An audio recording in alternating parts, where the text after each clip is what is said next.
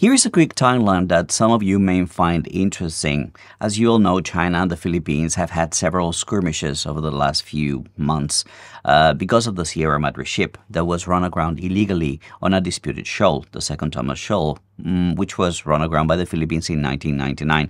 Several Filipino presidents uh, from then on promised to remove it, but that has never happened, even until today. Now, the shoal and other islands are part of a disputed territory. China claims them as theirs, Philippines does the same. Now, a few years ago, an international court of arbitration granted Philippines right to exploit waters around the islands, what is called an EEZ. The tribunal does not see that success on these submissions would have an effect on the Philippines' sovereignty claims. And so that that territory is the sovereign territory of the Philippines. Burns knows this. He knows it's not about sovereignty, but he lies to you. The grant specifically states that it does not settle sovereignty over the islands. You're going to hear this again and again by Filipinos, but here is the verdict itself. Watch here.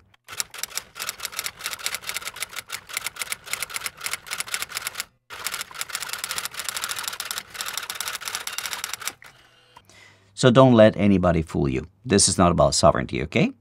Now, while the Philippines has right over these resources, other countries still have the right to navigate through the EEZ and fly over it as well.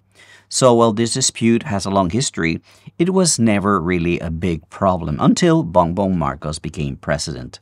Since then, he has tried now to expand and build barracks around the Sierra Madre. Philippines fishing vessels and Philippines Coast Guard ships have been confronted by China's Coast Guard when trying to supply construction materials.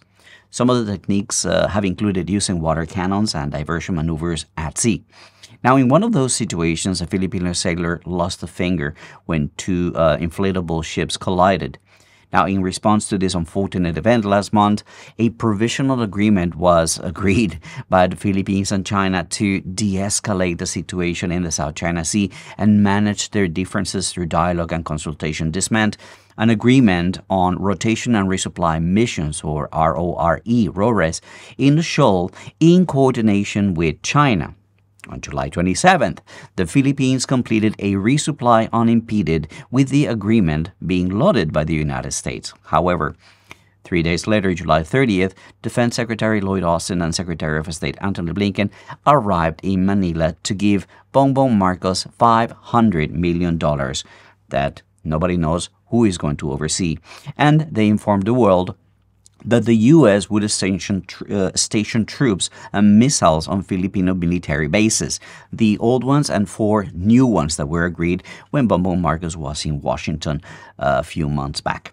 Now, fast forward to August 8th, and we had the fighter jets incident, the one we discussed on this video right here, where I pointed out, as can be seen here, that deployment of flares seems to be okay when Taiwan welcomes its Olympic team.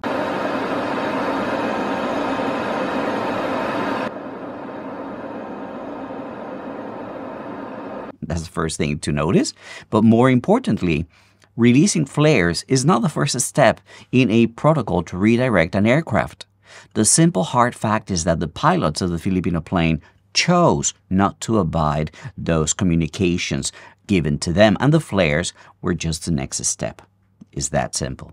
Now, August 19th, we see the well reporting on a collision between Coast Guard ships in the early morning of that day. China has released a video of communication with the Philippine Coast Guard telling them how to maneuver and operate in order to avoid a collision something called COLREGs or um, collision regulations that are set to avoid collisions. And these are set by the United Nations, by the way. 这里是海警两幺五幺船，请调整航向，驶离我管辖海域，并与我保持安全距离，否则我将依法对你采取强制管控措施。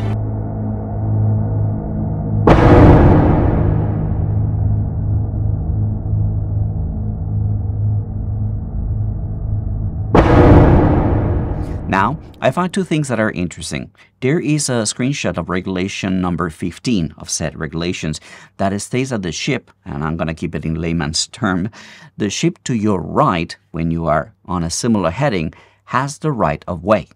In the videos that we see uh, on that night vision camera, the Philippine Coast Guard has the Chinese vessel to its right, meaning that the Chinese vessel has the right of way. That means that the Philippine vessel must change course, adjust the speed because they do not have the right of way. It's that simple. So if we follow the information on this screenshot of this Rule 15, it is clear that the collision falls on Philippines' responsibility. Similar to the situation with the flares, they failed to follow safety procedures indicated to them. Now, what some people have pointed out is that later that morning, after dawn, journalists appeared to be seen on board the Philippine ship with professional camera equipment. Was it deliberate then? just to capture some images and shots that are going to make China look bad. I'm gonna let you be the judge of that. You let me know in the comment sections what you think that was. But we have all seen in the past CNN and other US media on board planes uh, that are meeting Amer- um, Chinese uh, Air Force before. And regarding the flares incident, it seems to have been dragged long enough so that the mobile phone video could have been made um, about this detour maneuver. But here is the real intriguing part. This is where I I don't know. I went on the UN website looking for uh, COLREG Rule 15, and guess what I found? Nothing. When you scroll through the site to the page, both Rule 15 and 16 which are supposed to discuss who has the right of way, are not there.